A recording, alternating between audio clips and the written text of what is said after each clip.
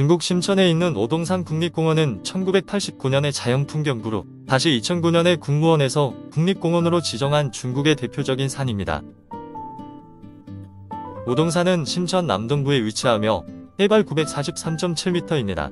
우리나라 남해안의 산처럼 정상에서 내려다보는 바다 경치가 매우 좋습니다.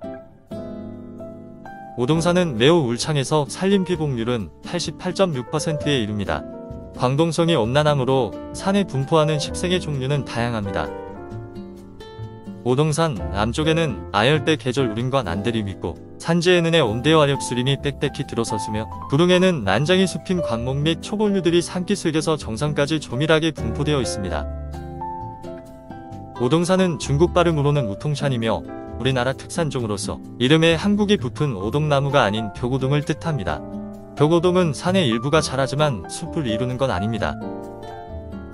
국립공원인 만큼 풍부한 동식물을 보유한 오통산은 심천의 중요한 종다양성 보호지역이자 유전자 은행입니다.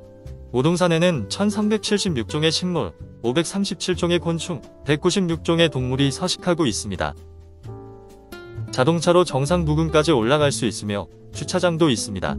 주변에 볼거리가 많아서 연중 많은 탐방객이 찾고 있습니다. 더 보시고 또 뵙죠.